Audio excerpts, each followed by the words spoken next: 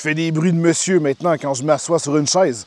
Je suis quand même dans la trentaine, donc euh, puis généralement, les bruits vont s'intensifier en vieillissant. Donc, salut tout le monde, euh, je voulais vous faire un retour sur mon épilepsie après un peu plus d'un an, euh, parce que j'avais fait une vidéo quand même à chaud. Ça faisait pas longtemps que j'étais sorti de l'hôpital quand je l'avais appris. Et je crois que c'est le moment de vous dire comment je l'ai vécu, euh, c'est quoi les étapes euh, par lesquelles je suis traversé, euh, par l'acceptation, l'adaptation, la médication, ce que j'ai appris, bref, une foule de choses. Et j'ai toujours été un livre ouvert avec vous. Hein. Chaque chose que j'ai vécue, je vous en ai fait une vidéo parce que on se rend compte assez rapidement à quel point on n'est pas seul, mais à quel point que les gens ne parlent pas. Euh, c'est encore quand même assez tabou, euh, malheureusement, les gens qui ont des soucis euh, de santé ou du moment que ça touche le cerveau. Les gens ont peur d'en parler par peur d'être jugés. et je me suis rendu compte de quelque chose aussi. Il y a beaucoup de gens qui sont épileptiques. Oh my gosh, j'ai, quand j'ai parlé du fait que j'ai une machine CPAP, quelques personnes ont dit qu'ils l'avaient. Quand j'ai parlé de mes crises de panique, quelques personnes en avaient aussi. La plupart des gens vivent de l'anxiété et tout. Il y a plein de sujets que j'ai abordés. Je veux dire, ça, évidemment, les gens vont se confier, ils vont poser des questions, mais l'épilepsie, oh my gosh, le nombre de personnes qui m'ont écrit en privé, envoyé des mails, les nombreux commentaires euh, sur la vidéo, hein, je vous la mets ici. Euh, je, pense, que je vous l'ai déjà mis, mais enfin bref, si vous voulez la voir, elle est aussi dans la description. qui, m'ont juste écrit pour me dire Wow, moi aussi je suis épileptique, comment tu l'as vécu, c'est quoi la médication, c'est quoi les étapes, je viens juste de l'apprendre, je ne sais pas à quoi m'attendre, qu'est-ce qui m'attend. Donc, moi je suis assez chanceux parce que j'ai l'épilepsie, on va dire, jackpot. Donc, euh, je ne pouvais pas avoir mieux comme épilepsie.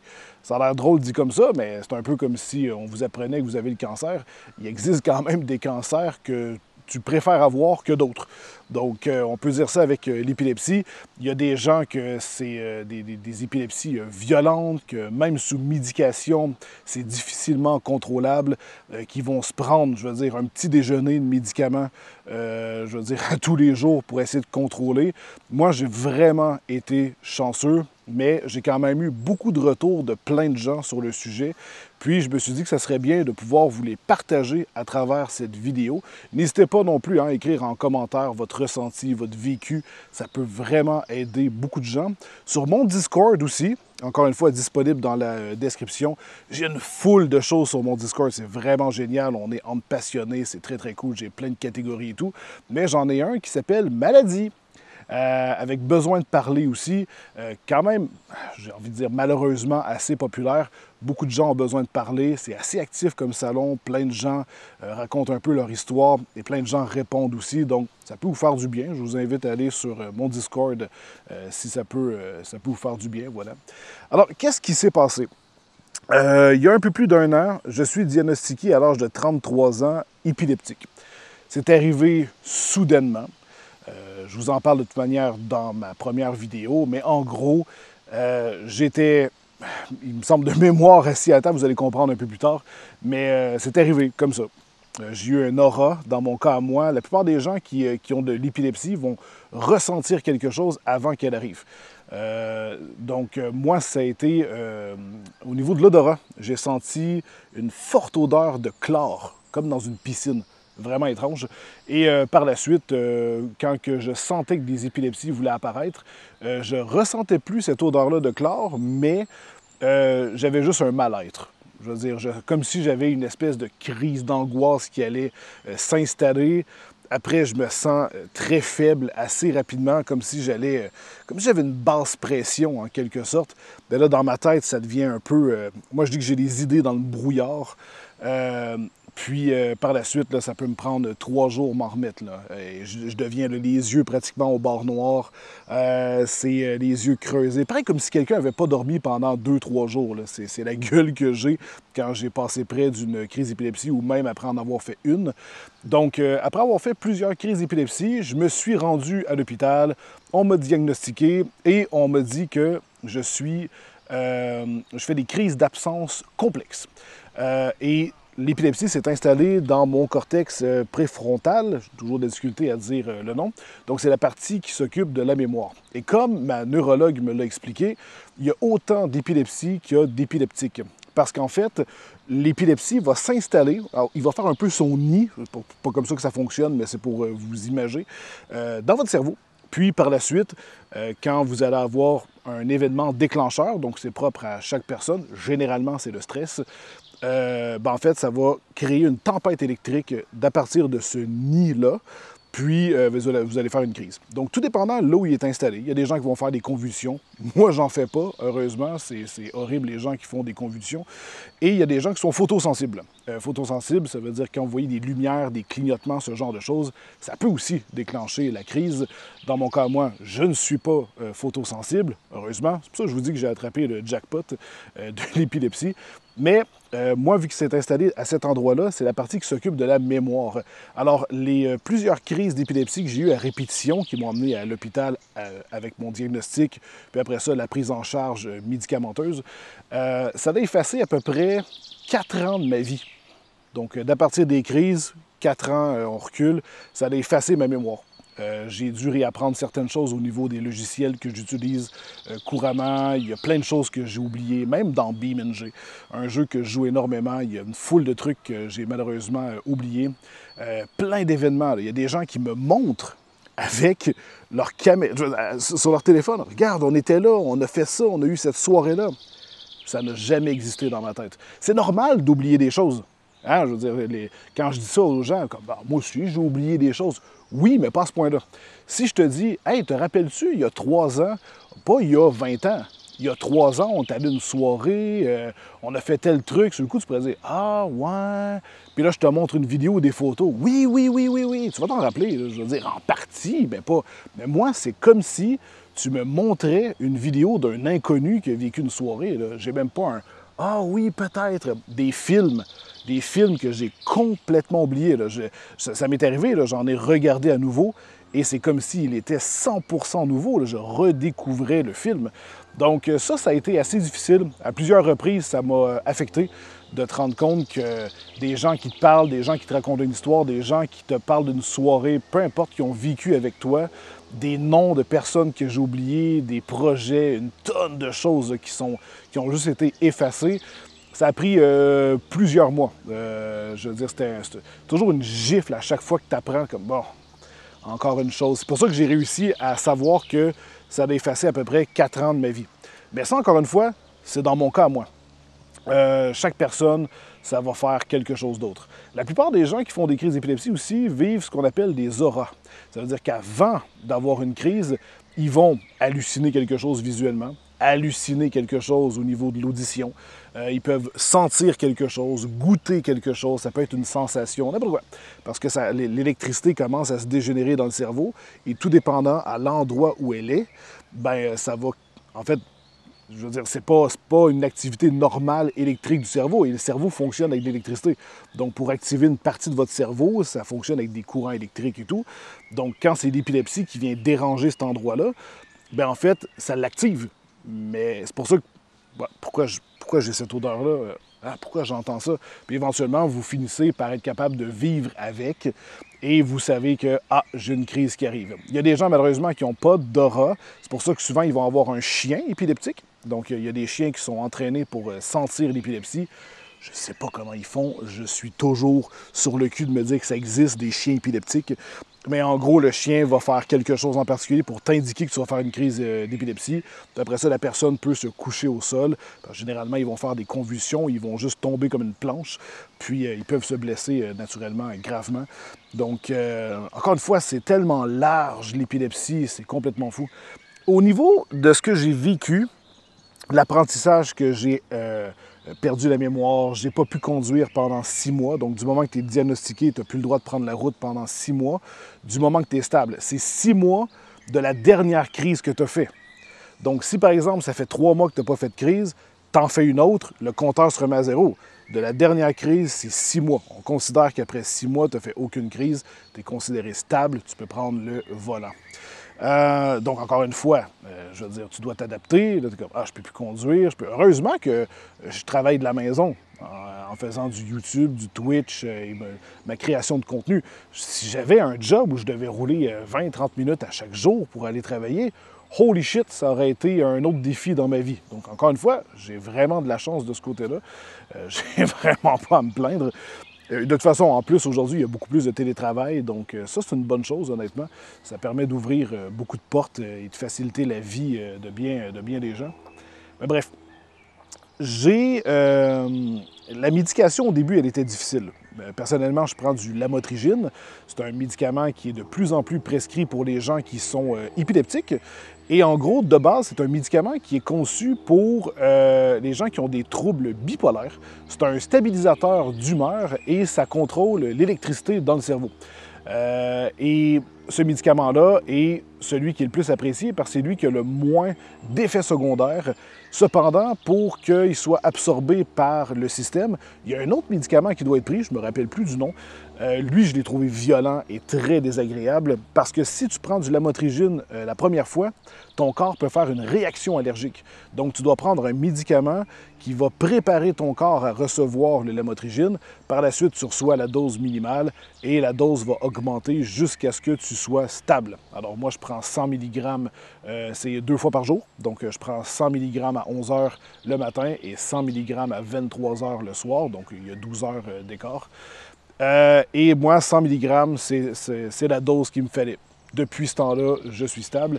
Mais l'adaptation a été difficile euh, parce que, dans mon cas à moi, euh, dans les débuts, en plus de la perte de mémoire, mon cerveau était très.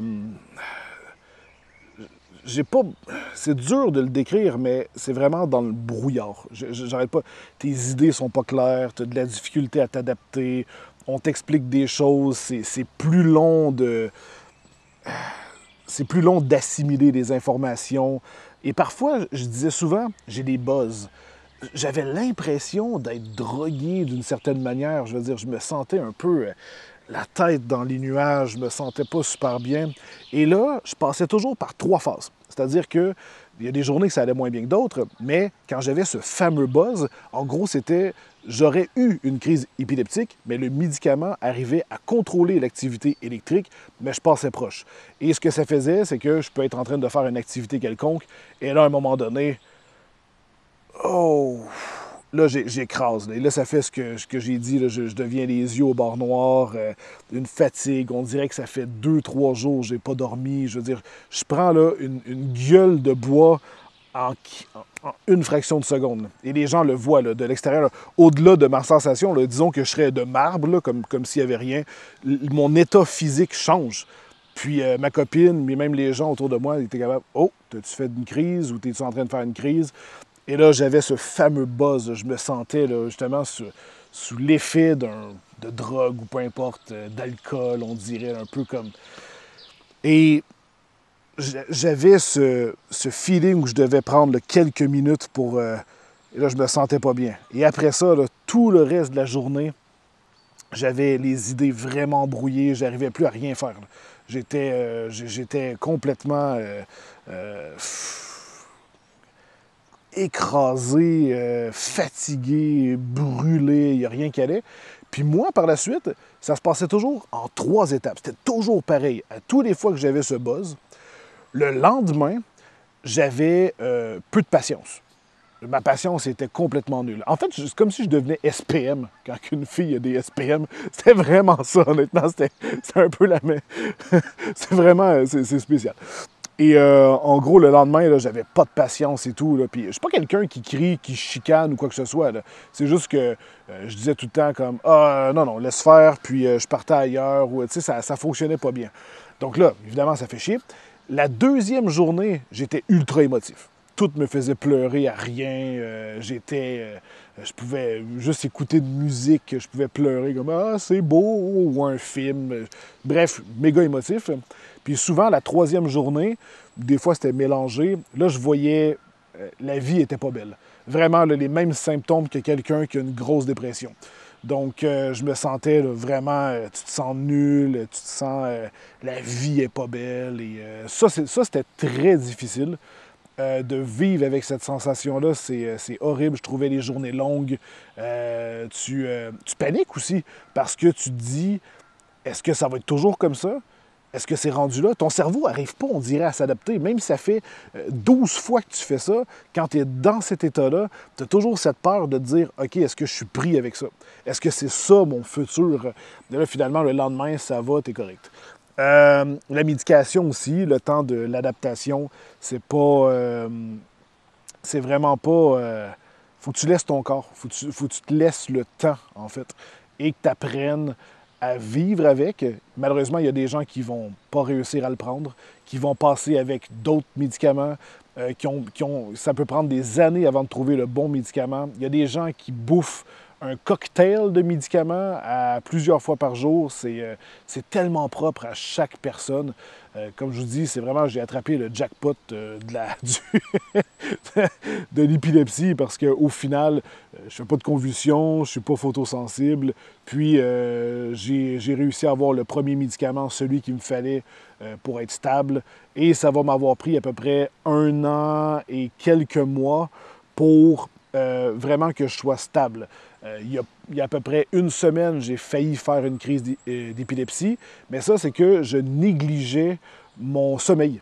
Euh, quand tu deviens épileptique, tu dois vraiment gérer ton stress et ton sommeil. C'est très important. c'est vraiment la, clé. Donc, moi, j'étais quelqu'un qui se couchait très, très tard avant. je négligeais mon sommeil et euh, je me disais, bon, c'est pas grave, tu te réveilles au pire un peu plus tard le lendemain, sauf que ça fonctionne plus. Je peux plus faire ça, je peux plus me permettre ça. Euh, quand ça arrive, euh, j'ai vraiment des. je passe proche de faire des crises épileptiques. Dans, dans, ma tête, ça devient très embrouillé, mes journées deviennent difficiles. C'est vraiment plus comme c'était avant. et c'est pour ça que j'ai recommencé aussi à faire du gym, à me remettre en forme, à me reprendre en main parce que j'en peux plus. Je peux pas, euh, je peux pas laisser mon corps dépérir comme ça.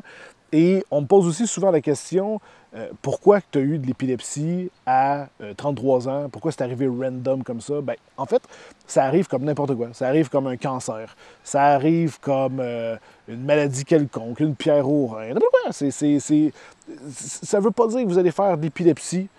Ça touche quand même un faible pourcentage de la population, mais c'est comme ça c'est moi, on dit souvent, un épileptique l'est pour toujours. C'est-à-dire que je l'étais déjà.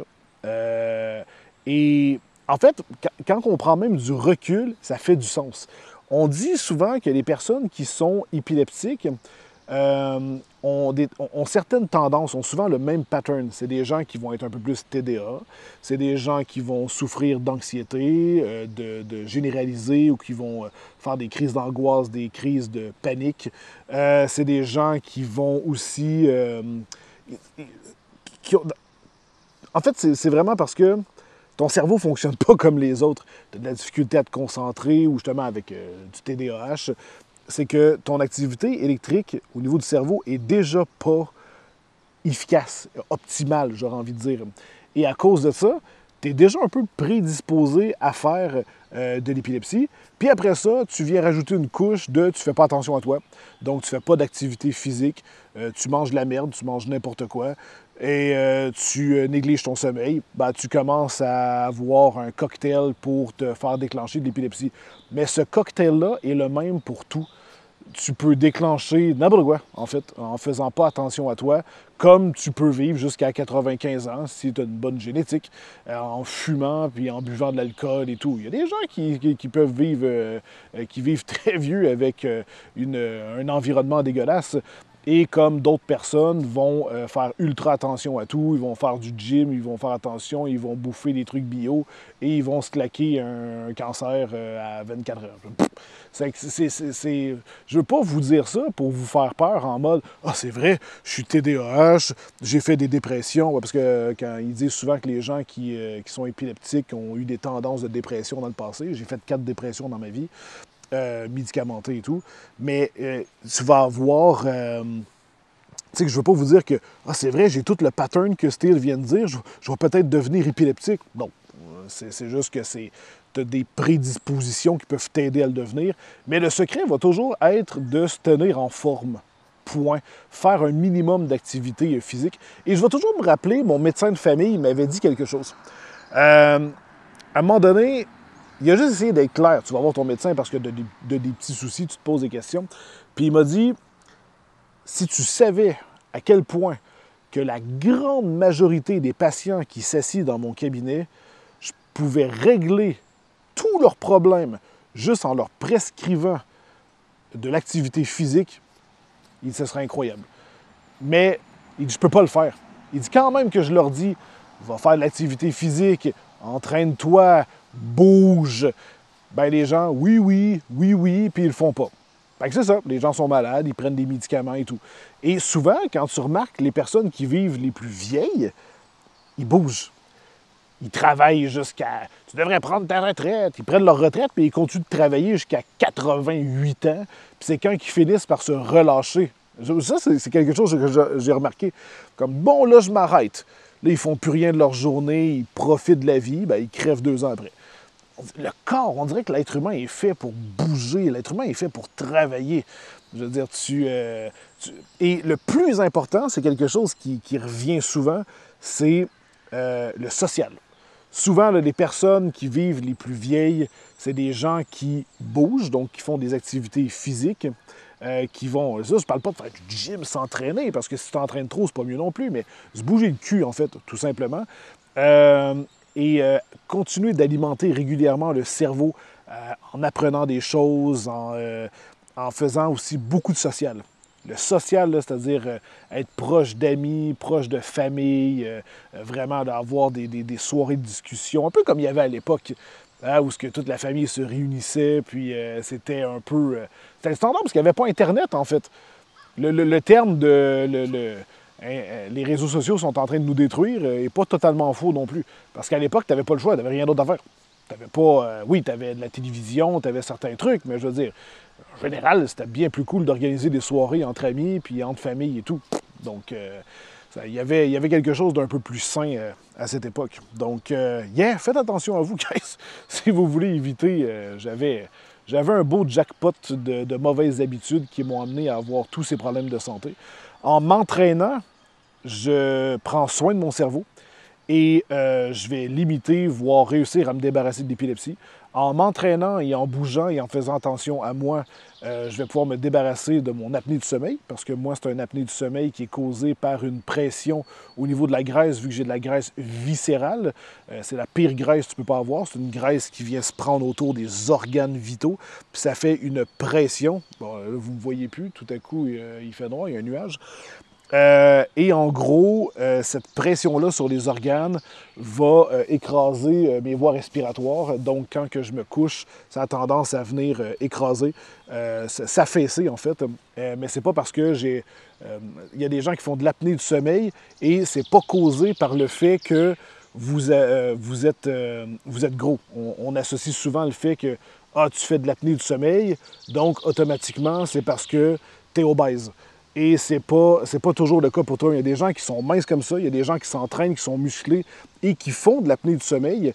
Et euh, c'est causé par euh, une faiblesse au niveau des, euh, de la structure du système respiratoire. Puis ça va avoir tendance à s'affaisser. Donc quand tu vas être couché, les parois vont s'écraser, puis tu vas faire, tu vas arrêter de respirer pendant la nuit, puis tu vas, tu vas faire de l'apnée. Donc c'est, faut, faut pas juger les gens trop trop vite sur leur leurs problèmes de santé. Donc, yeah, ça a été un, long processus euh, pour, euh, pour m'adapter, mais encore une fois, j'ai quand même eu de la chance. Euh, je vous invite, encore une fois, à me parler de votre histoire dans l'espace commentaire. N'hésitez pas, ça peut tellement aider des gens qui vont peut-être se voir à travers votre histoire et se dire, c'est exactement ça que je vis. Puis réussir à obtenir de l'aide ou peut-être un, processus que vous avez fait qui vous a donné des réponses parce qu'on n'a pas tous la même qualité euh, au niveau du système de la santé, mais même juste d'une ville à l'autre. Je veux dire, c'est euh, il y a des gens que leur médecin, c'est euh, ça, ça laisse à désirer. Et d'autres personnes qui vont réussir à trouver des passionnés ou des gens qui sont vraiment euh, calés dans, le, dans les connaissances de la, de, la maladie ou euh, de ce que vous avez et qui vont être capables de vous trouver des solutions qui sont efficaces et géniales. Alors, n'hésitez surtout pas à poser vos questions. Eh bien, au final, comment je vis avec l'épilepsie? C'est spécial, mais j'ai pas non plus à me J'aurais pu avoir un cancer, j'aurais pu avoir un truc dégénératif encore pire. Euh, c'est euh, donc je le prends, euh, je le prends très bien. Et même que je pourrais dire, c'est plus positif que négatif d'avoir eu l'épilepsie.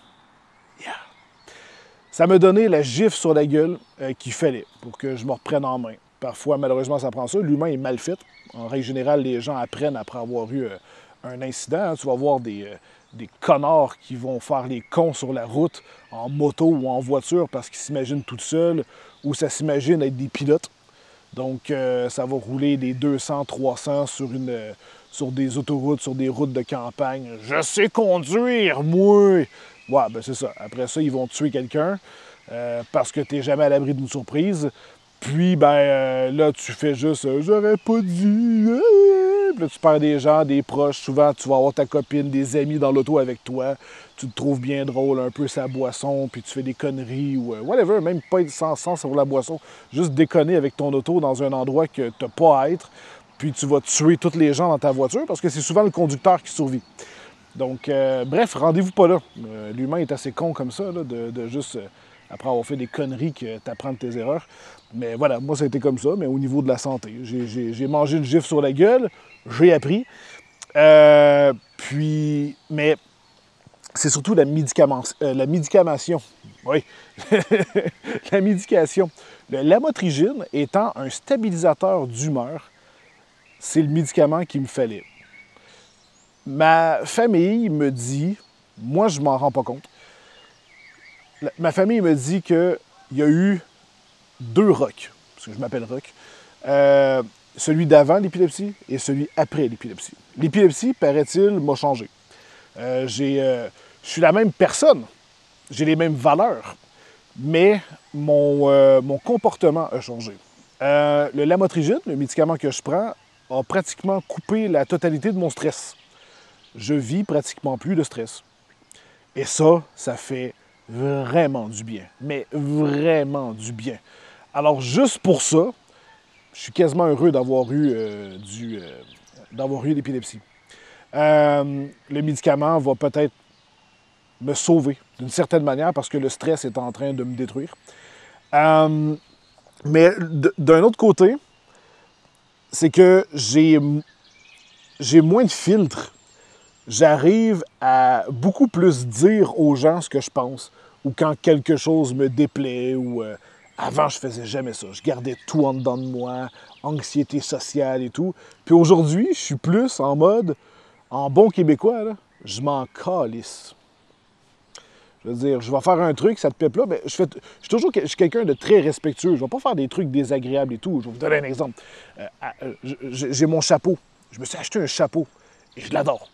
Mais au début, j'étais gêné. Je me disais, ah, le chapeau, c'est pas mon genre. Ah, je le sais pas. Et puis l'anxiété du regard des autres. J'ai toujours eu peur du regard des autres. J'ai encore peur du regard des autres. Mais euh, ça a beaucoup évolué, en fait. Euh, puis maintenant, j'ai un déclic. Je suis juste comme. Ben, je m'en fous. Je l'aime, mon chapeau. Puis je vais le porter. Si ça me tente ou non. Puis euh, fuck you, le, jugement des autres. Puis je le fais. Donc, j'ai, il y a vraiment. J'ai plus de je suis juste mieux. j'ai l'impression. Par contre, les côtés négatifs, j'ai moins d'émotions.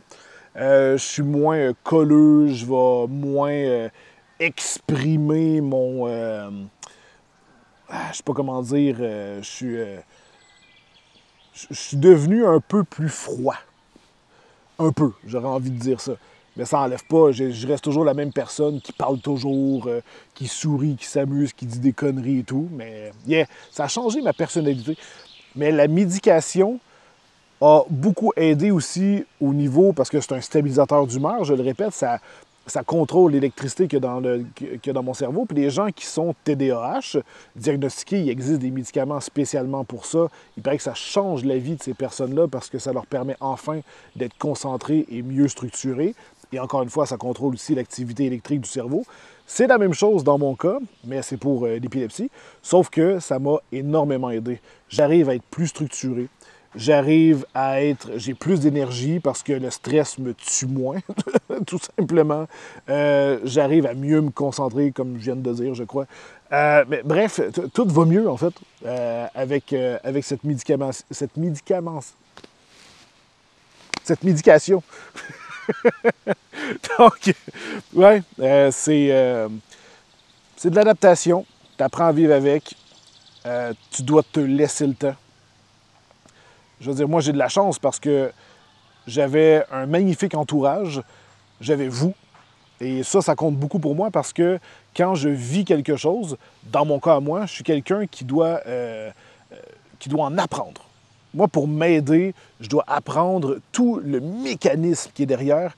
Et une fois que j'arrive à bien l'assimiler et le comprendre, souvent, c'est ce qui me permet de, régler ou prendre contrôle. Quand j'ai été diagnostiqué trouble panique en 2016 et que je faisais des crises de panique à répétition, euh, si on m'avait juste donné des médicaments, j'a- j'aurais pu peut-être encore aujourd'hui avoir de la difficulté à contrôler ces crises de panique-là. Mais j'ai réussi à avoir euh, un psychiatre à ce moment-là qui m'avait euh, qui m'avait assisté pour m'expliquer euh, tout ça, puis m'expliquer les choses. Et j'ai attrapé la bonne personne cette fois-ci, qui m'a expliqué mais en détail tout le fonctionnement. Il a compris qui j'étais.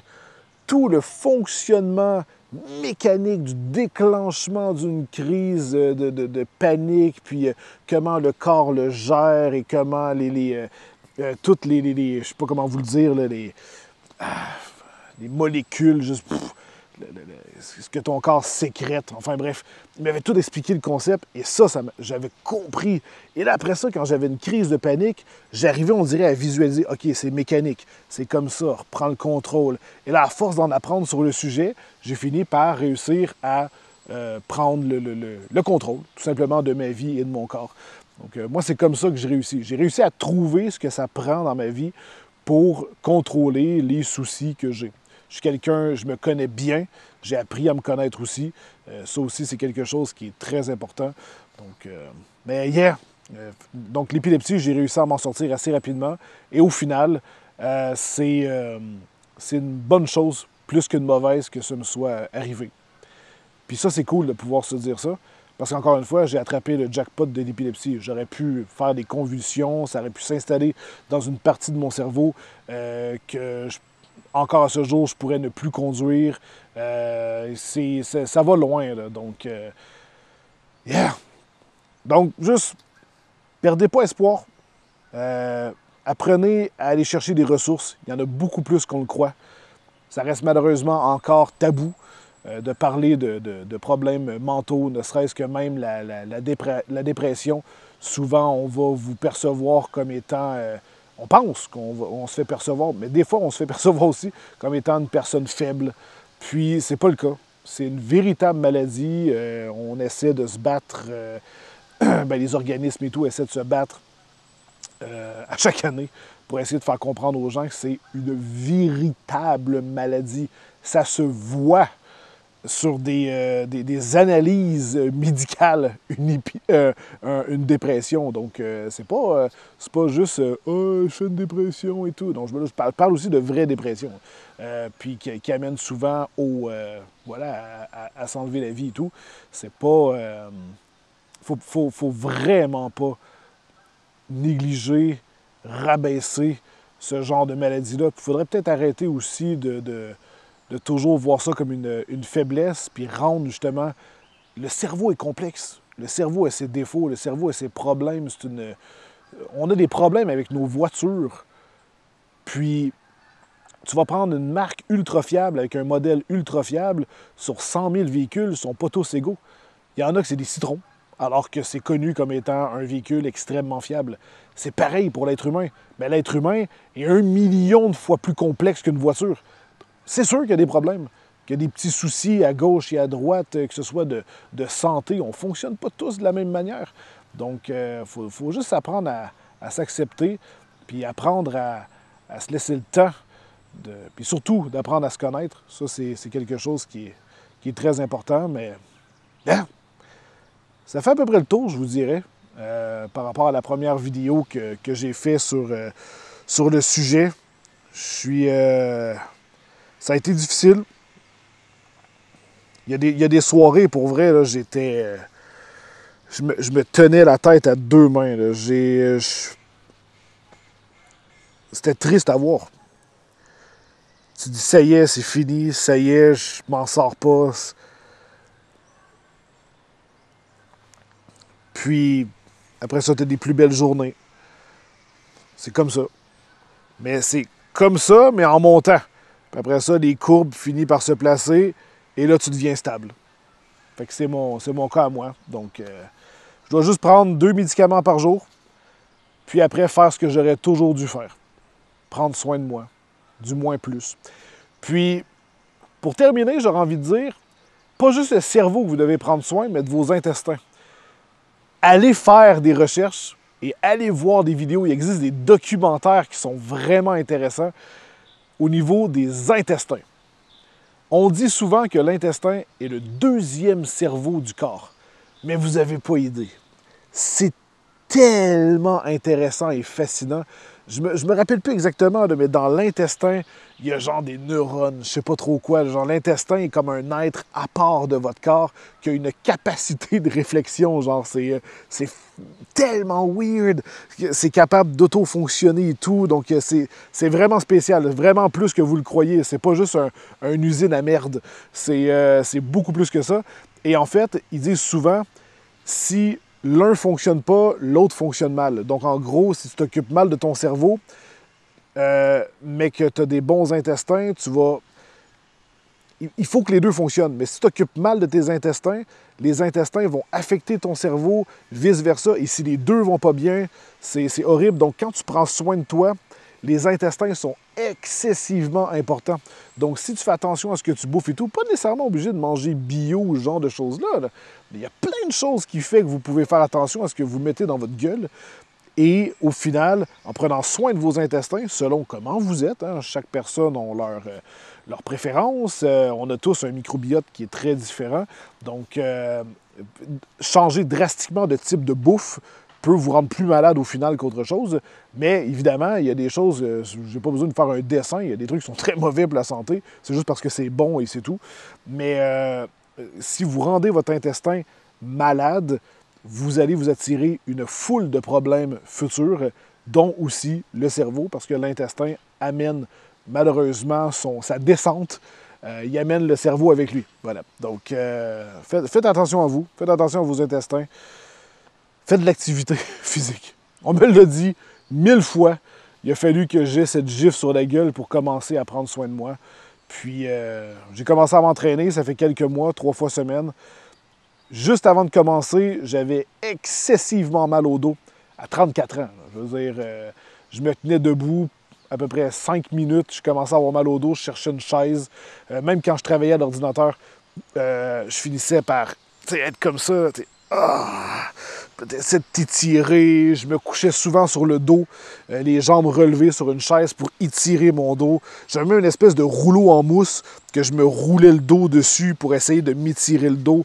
Et j'ai commencé à m'entraîner, j'ai plus mal. Ça fait juste quelques mois. Je suis capable de me tenir debout 10-15 minutes, facile, pas mal. Je suis pratiquement plus essoufflé quand que je marche, même si je fais un 5 km et plus. Euh, j'ai beaucoup plus d'énergie.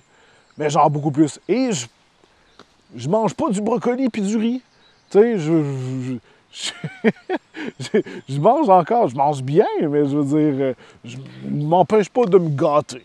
J'ai pas de. Mais bordel, tout ce que ça change dans mon corps, mais juste en positif, c'est hallucinant. Donc, sincèrement, je vous le recommande à faire. Alors voilà, J'espère que cette petite vidéo euh, récapitulative de ce que j'ai vécu dans la dernière année euh, a pu un peu vous éclairer. Voilà. J'ai pas non plus vécu un périple monstrueux. Euh, donc, j'ai eu de la chance, comme je le dis. ça m'a changé pour le mieux. Ça m'a fait prendre conscience pour le mieux de bien des choses. Donc, euh, en espérant que maintenant ça aille bien, je, suis tanné. Ça fait euh, depuis que depuis que je suis dans la vingtaine, ma santé est assez sur une montagne russe parce que j'ai jamais vraiment fait attention. Mais là, si je peux continuer sur cette lancée, puis que la médication, finalement, est celle qui me prenait pour ma vie, qui fait en sorte que je peux juste aller de l'avant, puis être stable, ce serait tellement génial. Donc, c'est vraiment ce que je me souhaite pour le futur. Allez, je vous aime très fort, guys. Prenez soin de vous et à très vite dans une prochaine vidéo. Bye bye!